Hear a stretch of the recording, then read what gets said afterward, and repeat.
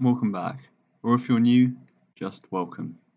To find the shortest path, we're going to start with a problem, and then we're going to make a few attempts, and they might not work, but they might help us get towards our goal, and then we'll come up with a solution, and I'll give you the code for all the methods. But uh, you might think, why not just jump straight to the solution?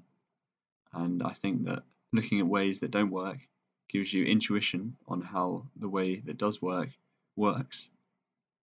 And the reality is that in life, you won't just be able to jump straight to a solution. You have to try lots of stuff that doesn't work before you get there. And it's that process that's about learning and improving so that when you get to the final goal, you think, ah, oh, I've learned a lot to get here. And it's not just solving a single problem, but everything that you've picked up along the way.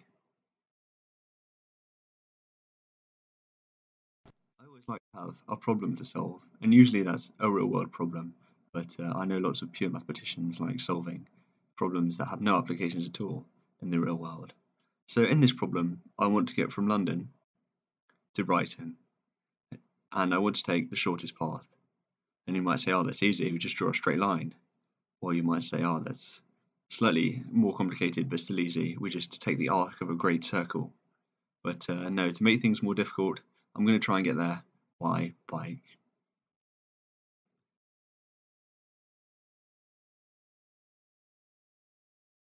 To make this problem easier, we're going to abstract it, so get rid of lots of the unnecessary information and transport everything into a graph.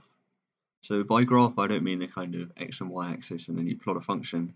I mean a structure that shows the relationships between objects. And as you can see, this is how a graph is defined. And mathematically it's a pair of vertices, so they're the kind of points in your graph, and then the edges, which are the connectors between things. So to start, we'll draw a bunch of nodes for our test graph, and then we'll add in some edges. And you can see that if we pick two nodes, then there might be an edge between them. But uh, of course, not every two nodes are connected by an edge some are connected indirectly. And to make this more useful and more specific to some problems, we can then add weights to the edges, which might represent how much it costs to uh, build the edge, or how long it takes to get from one node to another, or even the distance between two nodes.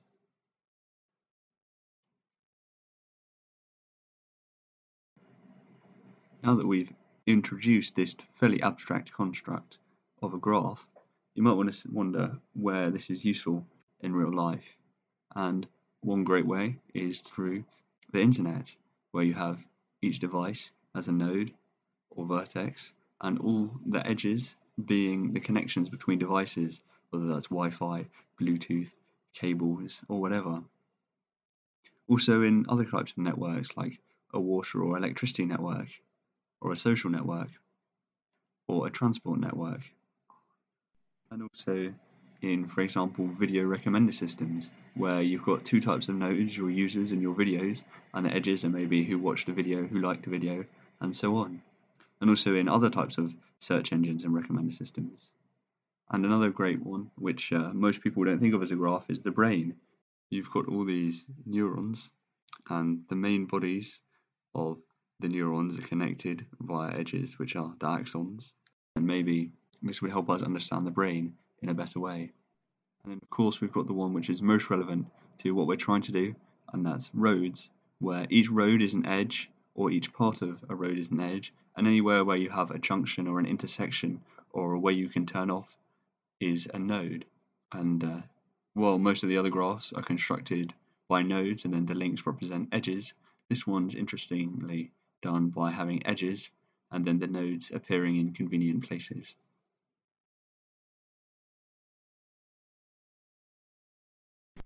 Before we get on to the main problem, we should start with a simpler one, as is always a good case when trying to solve a difficult problem.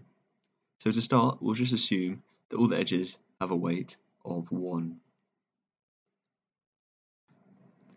And as in our main problem, we're going to try and get from node A to node B, although in this case it's node H. And so we'll start by setting the distances of all the nodes to infinity.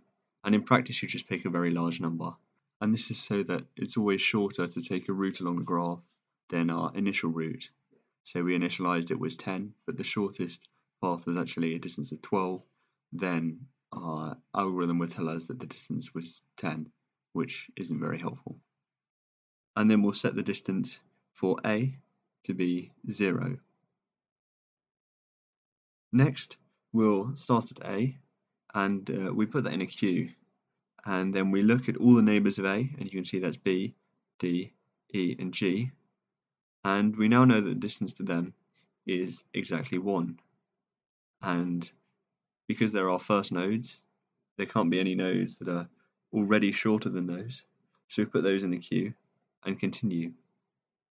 And so now in our queue we have the nodes G, D, E and B. And we go through each of these and it just happens that G is next and we work out all the distances from G. And you know there'll just be one more. And D and E we've already set as one so we don't need to worry about those. Uh, they've already been put in the queue. But F and H we now put them in our queue the front of the queue is D. So we then do the whole process again with node D. And then the next thing in our queue is E. And so we repeat. And it happens that we've already put everything that we visited in the queue, and then B, and we repeat, and now we add C, and then finally H, except that H is our target node, so we can just finish there. And that means that the shortest distance from A to H was 2. And there are various ways of then going back and working out that the actual path we took was A, G, H, but we found the shortest path. And you probably want some kind of proof that this works on every graph and not just the one we've picked. But uh, an easy way to look at it is that we go starting with all the ones that are 0 from our start node, and then all the ones that are a distance of 1, which we'll have already found because, you know, if they're a distance 1 from the start node, then we would have found them after one cycle. And then we go to the ones that are a distance 2, and because we've already looked at all the ones that are a distance 1, we must have covered them by this point and then that repeats uh, for higher and higher values until we know that if we've got to a certain one, then we've looked at all the previous nodes that have a shorter distance, and so this must be the shortest distance. So now we get on to the main problem. However, this time the weights no longer all have a value of 1. So we again start, we initialize them all with an infinite value, and then we set the value of a to be 0. Then, you know, we repeat, we work out the distances, put them in a queue, and keep going until we get to h, and then we stop.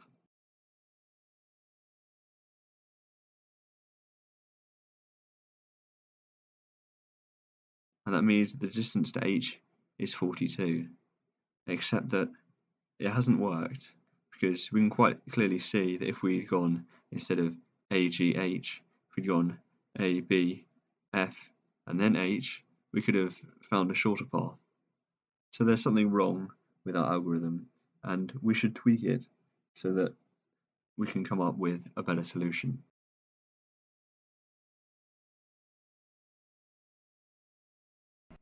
Fortunately, all the work we've done so far is not in vain, and we don't have to start again from scratch. Of course, as always, we start by initializing all the distances as a very large number, set the distance from A to A at 0, and our first step is exactly the same of looking at all the neighbours. However, this time instead of putting them in a queue, we put them in a priority queue. And uh, if you're just interested in how that works mathematically, we always take the minimum value now that we haven't yet fully explored. And so I've coloured them in orange, and we take our smallest orange node, turn it green, so now it's being processed, and we then look at all its neighbors again, and we can know that because all the weights are positive, that the next one will be higher, and we don't have to worry about A that we've already visited. And we can see that this means that the distance to E is now slightly shorter and that's the minimum. So we take E again and we repeat by propagating outwards and making all the ones smaller that we can and we keep going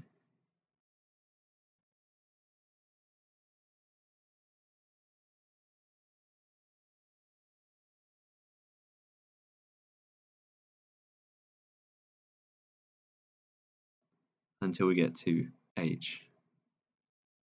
And you can see this time that we've worked out the distance is 32. And as I said, there are many ways of going backwards and finding what that path was. But uh, you should see that it's A, B, E, D, G, and then H. So we now have a successful algorithm. And again, you'll probably want a proof that it works. But again, because we're going up in increasing order, so we start with the ones 0, and then 1 if there are any, and then 2 if there are any, and so on. And in this case, it was 9 as the first one. And then we know, you know, because we're adding only positive values to our weights, that the distances to the next nodes must be higher. And we keep going, and we can guarantee that we'll go past all our nodes in increasing order of distance from the start node until we end up getting to H, or our destination.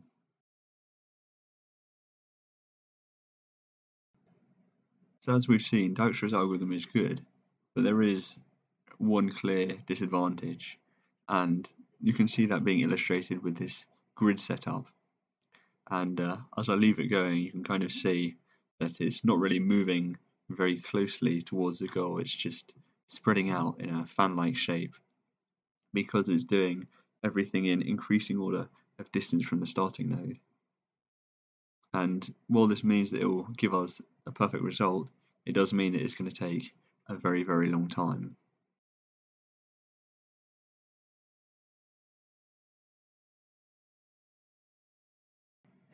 And you can see that on a larger map, where we just want to get from London to Brighton, we work out all the ways to get to these random places like Watford, Slough, Tunbridge.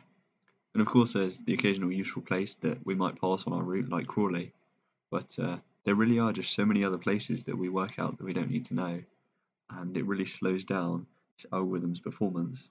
As if we're just cycling to Brighton, we don't really need to know all the other details.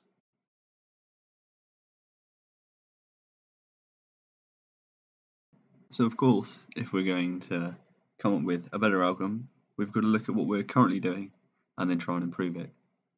So we start with this function, f of n, and this is the thing we're trying to minimize. And currently it's equal to g of n, which is the distance from the start node to where we are. And at each iteration we pick the one with the smallest value of this function. But the way we can improve this is by instead setting f of n to g of n, the distance, plus h of n, which is some heuristic value that we pre-calculate on all of our vertices. And it doesn't matter what this heuristic value is, as long as the heuristic of a given node is less than the distance between that and every other node plus the heuristic of the other node. So to illustrate that with an example, we have two nodes, x and y, and f of x is the distance to x plus its heuristic, and f of y is the distance to y plus its heuristic. But we can then write the distance from the start to y in terms of the distance between x and y and the distance to x by just adding them. And then as we know that the heuristic value must satisfy the equation above, and of course remembering to get our inequalities the right, right way around, we now know that f of y is more than or equal to g of x plus h of x, and of course that's just the value evaluated at x. And so, like in Dijkstra's algorithm, this means that at each iteration, the value of f of x, the thing that we're trying to evaluate, is increasing. And so our algorithm is going to work by going through things with a smaller distance first, and then a larger distance, and so on.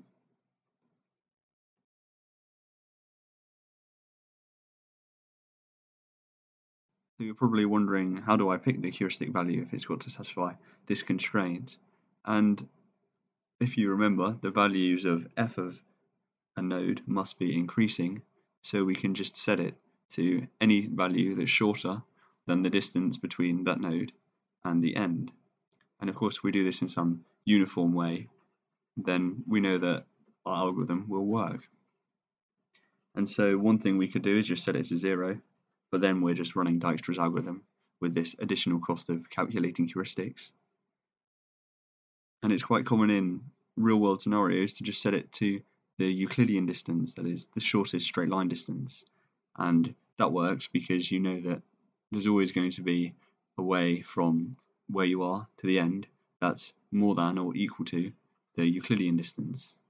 And on a grid, there's a neat trick that you can set it to the Manhattan distance. And technically with the diagonals, there might be shorter paths, but uh, this will cancel out. And so if we run our A star algorithm that's adapted on this new graph, then we end up with a much quicker result. Now we can go back to our original problem and it turns out that the A star algorithm is only going to work out a few of the points on the way. And you can see that this is a lot more efficient and while you know not all of them are going to be on our route, it's at least going to find us the shortest path. So now we can cycle from London to Brighton without having to put in any extra effort.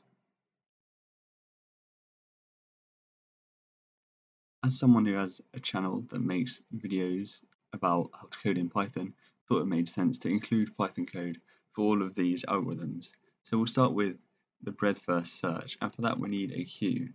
However, Python doesn't have one by default, so from queue, which is a built-in Python library, we need to import a simple queue and then we'll just create our simple queue and put 0 which is the distance and the start. And then while the queue is empty not empty that means we've got more nodes to visit and we'll say that the distance and the node are the top.